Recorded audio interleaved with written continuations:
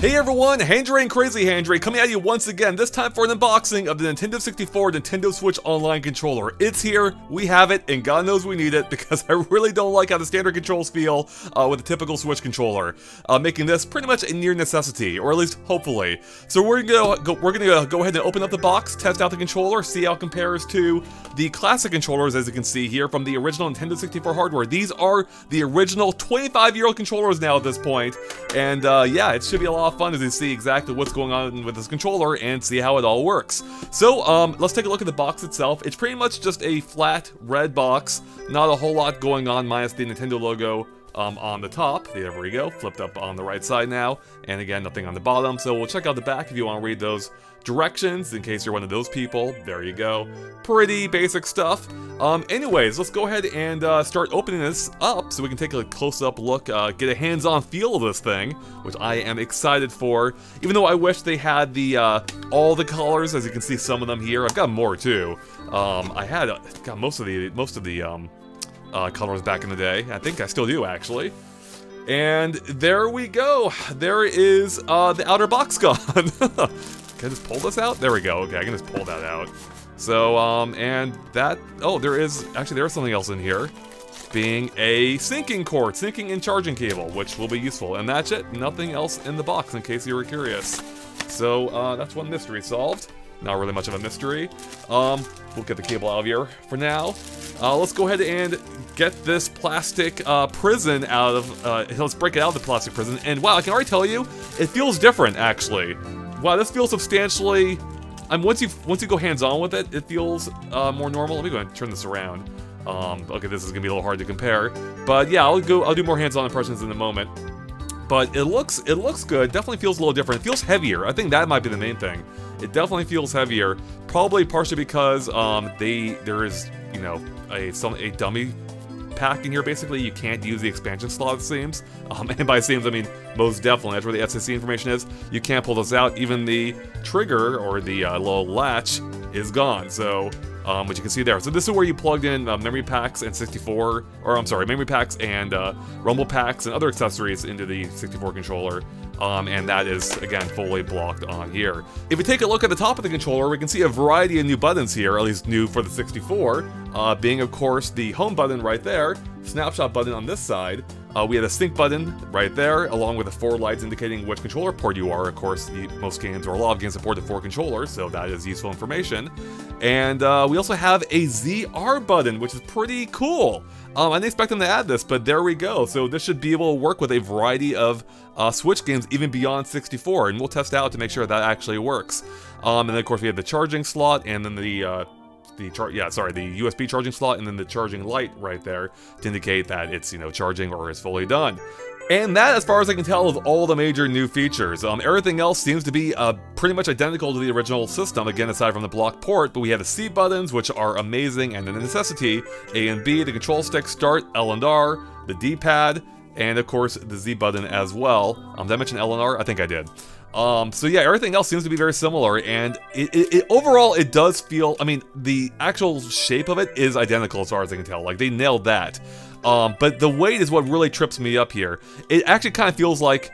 Um, it almost feels like it does when you have it a, when you have a rumble pack built in. Like there's, it's more weighted toward the back, and that might be because there actually is rumble built into this thing. This does have rumble. I don't know if it's right there, uh, but yeah, um, that might explain uh, a bit more of the heft. Uh, so comparing it to, let me bring in the original 64 one here. Um, the feel is a little different. Now again, my controllers are 25 years worn, so that might account for some of the difference. Um, again, NSO's on the right, the Corda one is the original N64 on the left. Um, I might have to flip this video when we're when I'm done recording it. It might it might be flipped already. I don't know what I'm gonna do with this.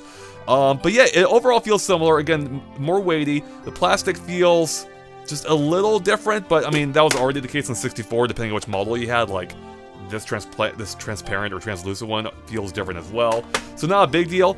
On um, the control stick, so it, if you look at the internal mechanics, it looks to be the same, but I'm sure if you break it down, as some people may already have, I'm, I wouldn't be surprised that's entirely different. And it does feel a little different. It does feel, for one, completely smooth, which, uh, granted, these probably did 25 years ago. Uh, they do, they no longer do. Uh, you can see there's some like white uh, residual or like residue inside there. um, from just from being worn over the years, and hopefully that won't be a factor on this. I'm assuming that's something they may have addressed, but you know we'll see. Time will tell. Um, otherwise, yeah, the control stick feels really good. Like that feels uh, stiff, like it's springy. That is exactly what I want. Like compared, yeah, that feels like it really. I think it does feel like these might have when when they were new. Actually, the green one is in best shape, and that's pretty. That's pretty right. That's pretty dead right on. It, it, does feel like you can feel like the internal mechanics, like the springs this a little bit more, whereas this feels smoother, and that's a better thing. The 64 control stick, I should make clear, wasn't very good, despite it being a pioneer back in the day. Uh, it also kind of showed it being you know the first one. Um, Nintendo's technology definitely improved over the years, and uh, that was and that's undoubtedly the case. Hopefully here too. This does this definitely feels smoother. Um, it feels like it may have less of the longevity issues that the other that the other controllers did. I should mention too real quick, all the buttons feel perfect. Like again, there's no wear, there's no stickiness on them. Uh, these feel really satisfying to the touch. D-pad feels great. Uh, the Z button also has a just a satisfying click to it. Um, yeah, this is this is a pristine, perfect condition N64 controller that by and large is very close to my memory. I think more so than my initial impressions gave it, uh, you know, gave it credit for. This really does feel like a new controller, minus some maybe minor differences, with the most being a better control stick, which hey is a great thing. So that is pretty much the Nintendo 64 Nintendo Switch Online controller in a nutshell. Um, so what do you say we go ahead and connect this to my Nintendo Switch and we try it out in Nintendo 64 games and maybe others and see how exactly it works. Alright, here we are on the Switch controller screen, so let's go ahead and hit that sync button right on top, which is thankfully much easier to hit than the standard sync button. And let's see if it can- hey, there we go! And bam, it's connected, and it made a nice satisfying rumble too when that happened. And it felt like a classic N64 rumble rather than how the Pro Controller or Joy-Cons feel in Switch Online, uh, which didn't feel quite right to me. So this this is already boding well. Also, I love the, the actual colors of the buttons show up on the screen. Good stuff so far. So let's go ahead and uh, hop into the app and see how this bad boy works. I'm already loving how this feels, by the way. This feels so good. All right, come on. Prepare that software. Let's let's get us in there. All right. Here we are. It's got the controller on the screen. Oh, it made up a, it made a power up noise. That doesn't happen normally. Oh, and those the sound effects are entirely different. So this is a sound from I think is that from are these from Mario 64? That definitely is. That's a Bob-omb sound from Mario 64. Uh, when you talk to a Bob-omb.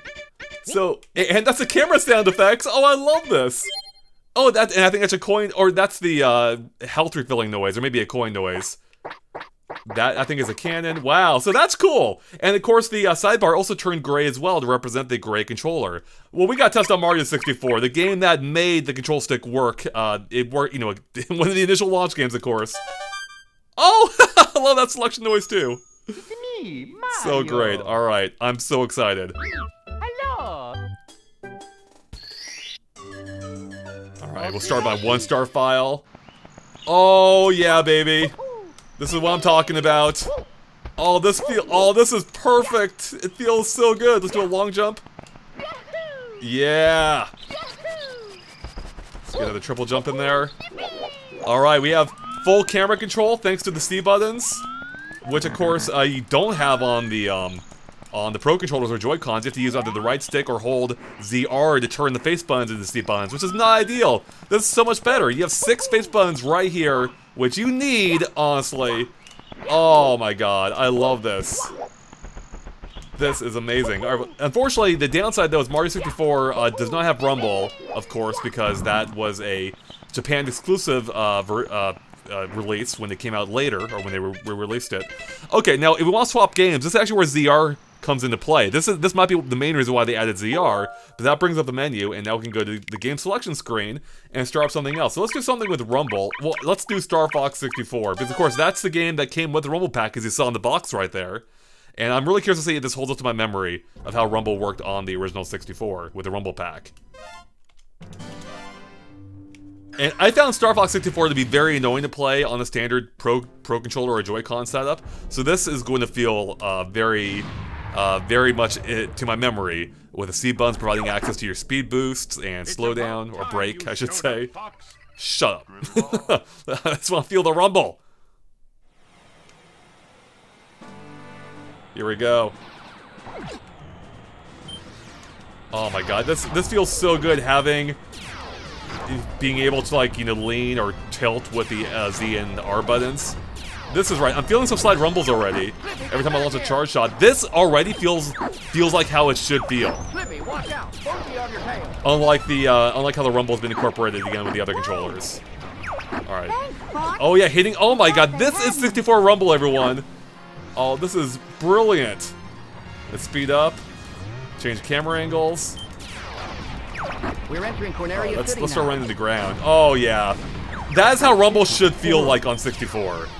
Man, I forgot how satisfying it was on on the 64. Man, this might have this might have my favorite Rumbles yet still. Oh yeah, baby. Speed up gets to that satisfying Rumble. Oh man, this is too good, everyone. If you don't have a 64 controller and you have Switch Online expansion pack, you kind of need this, honestly. Even though it's as much as the expansion pack is by itself. You got an enemy on your tail. So worth it Use the though. Alright, I'll... Is that... There we go, yeah, that's break, yep. Alright, anyways, that's enough Star Fox. I'm having way too much fun here. Um, let's go ahead and try a... Uh, let's try another game. Like, let's try not a... Uh, let's try not a 64 game. I love these sounds, can't get over that. Let's see, are there any others? Oh yeah, the info box sound. Oh, that's that's just a neat little detail. All right, how do I can how do I get can I actually quit the app this way? Oh, I guess I can't. Oh no, I, of course I can. There's a home button. I of course I forgot the home button myself. Let's take a snapshot. There we go. All right, how can I forget about the home button? So there we go. So this oh. This should work amazingly well with Genesis games because you have six buttons as well, uh, whereas the Genesis controller only has three, and some buttons do, uh, some, some of the games I believe do support a six button controller. So, uh, but let's go ahead and go with, um, let's see, uh, uh, what games do I have on here actually? Do I have Mario Odyssey? Oh, we have 3D All-Stars. So we could try, uh, we can see, hey, let's see what Mario 64 does in 3D All-Stars. The better version of Mario 64, of course, with upgraded textures, uh, and Rumble. So we can see if that works. Okay, so far so good. Okay, B, okay, yeah, B is acting as jump, so that is definitely a problem. C-Bone's alright. So what is going on? Crouch? Everything is right except for... Except for B. That's so weird. Why? Yeah, so I guess it, it probably just treats the C buttons as a right as a right stick, I'm guessing, and then the this game is reading that as a C buttons. So everything is mapping correctly, except for uh, I mean that L wasn't used originally, except for B. So that's the only downside. Otherwise, it's perfect. Of course, that's a pretty major thing. See, that's something you'd have to fix, I think, in the uh, in the um, uh, you know, the system settings by changing your controls here. Oh, I do have Mario Odyssey here. Perfect. Alright, we're just gonna try all the Mario games apparently. No, we're not. We're not gonna try all the Mario games. We'd be here forever. But yeah, it's awesome to see that this will work theoretically with any game. Now, whether it works well or not, without mapping them yourself.